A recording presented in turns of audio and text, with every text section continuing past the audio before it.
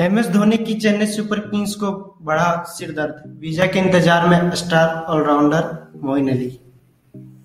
M S Dhoni की Chennai super Kings को IPL 2022 के उद्घाटन मैच से पहले एक और बड़ा झटका लगा है।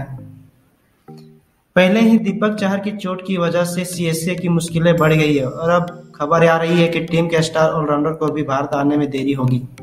ये बिल्कुल गलत बात है। दीपक चाहर पहले ही चोट से जूझ रहे हैं और अब खबर आई है कि स्टार ऑलराउंडर मोइन अली देरी से भारत आएँगे। मोइन अली को सीएसके ने आठ करोड़ रुपए में रिटेन किया था और अब वो भारतीय दूतावास के वीज़ा देने का इंतज़ार कर रहे हैं।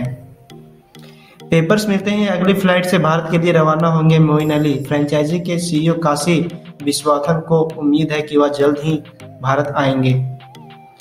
कि मोइन अली को वीज़ा मिलने में मुश्किल नहीं होगी, क्योंकि वह नियमित रूप से भारत की यात्रा करते रहते हैं, लेकिन कभी वीज़ा या पेपर जमा नहीं किए। वह नियमित तौर पर भारत की यात्रा करते हैं, लेकिन अभी तक उनके हाथ में कोई ट्रेवल पेपर नहीं आए सीओ ने कहा है कि मोइन अली ने उनसे कहा है कि ट्रेवल पेपर्स मिलते ही अगली फ़्लाइट से वह भारत रवाना हो जाएँगे।